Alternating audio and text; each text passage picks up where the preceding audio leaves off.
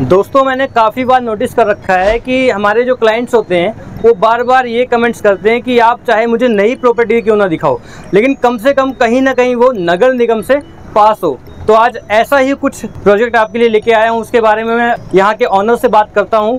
अभी हम किस जगह पे खड़े हैं और पीछे बिल्डिंग क्या है अब ये सामने देख सकते हो आपका अमृता हॉस्पिटल हो गया जो एशिया के सबसे बड़ा हॉस्पिटल हो गया। ओके इसी के जस्ट सामने ही आपका हाईवे है। हाईवे के सामने ये आपका दो चार घर बना हुआ। इसी घर के सामने जो घर दिखाई दे रहा है इसके जस्ट पीछे ही अपनी साइड ओके और मैं देख रहा हूँ बस वगैरह भी आ रही है।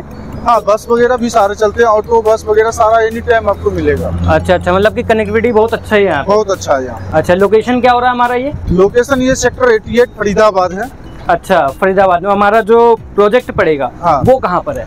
ये प्रोजेक्ट जस्ट यहाँ से मुश्किल से वॉकिंग डिस्टेंस पे अपनी प्रोजेक्ट है ये। अच्छा मतलब कि इतने बड़े इतने विशाल का है हॉस्पिटल के बिल्कुल वॉकिंग डिस्टेंस पे दे रहे हैं आप? बिल्कुल वॉकिंग डिस्टेंस पे अपनी प्लॉट है यहाँ से। ओके तो काफ़ी शानदार आप प्लॉट लेकर आ गए हैं। बस ये आप लोग की प्यार है दुआ है और भाई लोग की सपोर्ट है जो बस ले आए साइड क्या बात है? तो सीधा हम चलते हैं अपने साइड पर? हाँ बिल्कुल अपने साइड पे चलते हैं। सारा चीज़ वहाँ का दिखाएँगे आपको। ये सामने आपको तो अमृता हॉस्पिटल हो गया जो अच्छा, एशिया की सबसे बड़ा हॉस्पिटल है।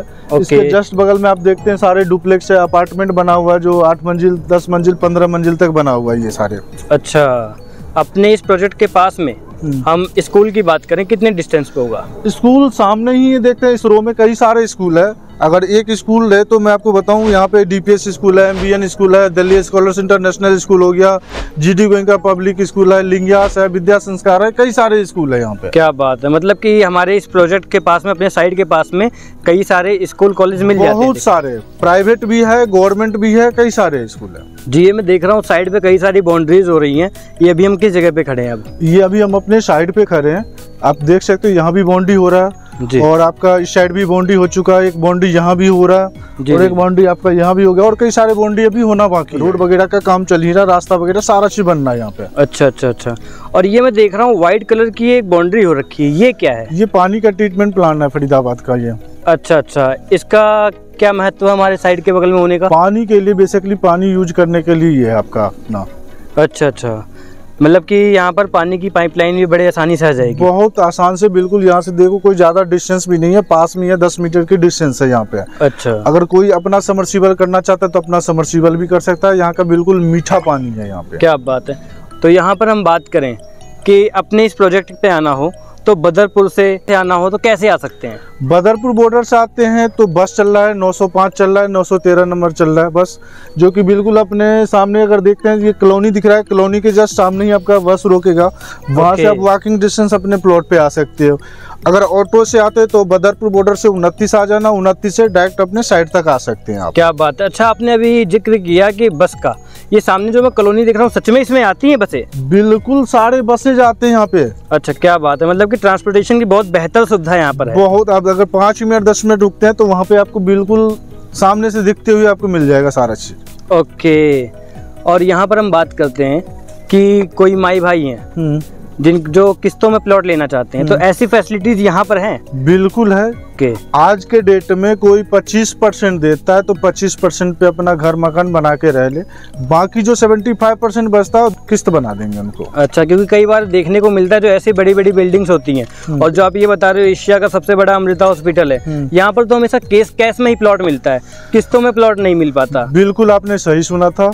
देखो एक तो क्या होता है ना जहाँ थोड़ा सा डेवलप ज़्यादा हो जाता है वहाँ डिमांड ज़्यादा होता है। जहाँ डिमांड ज़्यादा होता है तो लोग बात सोचते हैं जो पाँच रुपए की चीज़ है वो पचास रुपए में बेचे अपना। Okay okay. तो यहाँ इसलिए सारा प्लॉट मोस्टली कैश में सोल्ड होता है Okay. लेकिन हमने कुछ अपना इंट्रोडक्शन मतलब सारा चीज़ गरीब को फैमिली को देखते हुए हमने सोचे जो जो मीडियम क्लास के वर्ग लोग हैं जो अपना प्लॉट अपने घर में रहना चाहता है तो। उनके लिए 25 परसेंट पे अपना घर दे देता हूँ बना के अपना रह लो बाकी का इंस्टॉलमेंट बना लिया आराम ओके मतलब की प्लॉट लेने में बिल्कुल सहूलियत से आप प्लॉट देते हैं बहुत सहूलियत से देता हूँ और साथियों यहाँ पर आप मात्र इक्यावन सौ रुपए देकर अपने प्लॉट की बुकिंग करवा सकते हैं अपना प्लॉट ले सकते हैं और सिर्फ़ 25 परसेंट देकर अपने प्लॉट का पोजीशन ले सकते हैं। यानी आप 25 परसेंट देकर अपने प्लॉट पर कब्जा ले सकते हैं, कोर्ट से एग्रीमेंट हो जाएगा। वहीं हम प्लॉट के प्राइस की बात करें, जो कि ये बिल्कुल अमृता हॉस्पिटल के सामने पड़ता है। यहाँ पर आप यदि कैश में लेते हैं तो मात्र पंद्रह हज़ार रुपये प्रति गज में प्लॉट दे देंगे। यदि आप किस्तों में प्लॉट लेते हैं तो आपको मात्र सोलह हज़ार रुपये प्रति गज में प्लॉट दे देंगे, जो कि ये नगर निगम के अंडर में पड़ता है, और डेढ़ साल का आपको समय दे देंगे। तो यदि आप इस प्लॉट को लेना चाहते हैं तो स्क्रीन पर दिए गए नंबर पर आप कॉन्टैक्ट कर सकते हैं और अधिक शब्दों का सहारा ना लेता हुआ मैं शैलेश प्रताप इन्हीं शब्दों से आपसे इजाज़त चाहूँगा। धन्यवाद।